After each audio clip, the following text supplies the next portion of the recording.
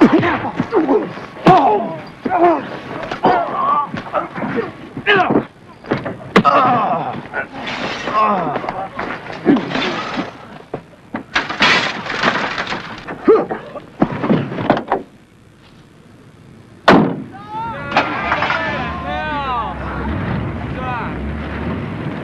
the hell out of here!